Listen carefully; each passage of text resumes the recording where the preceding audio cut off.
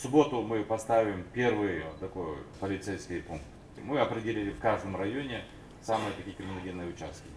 И если, допустим, на квадрате таком-то, в два во дворе таком-то постоянной кражи идут, мы это сейчас будем устанавливать именно там. Это будет полицейский, который 24 часа будет находиться там, там со всеми необходимым оборудованием, связью, э, компьютеры, видео, наблюдение и так далее.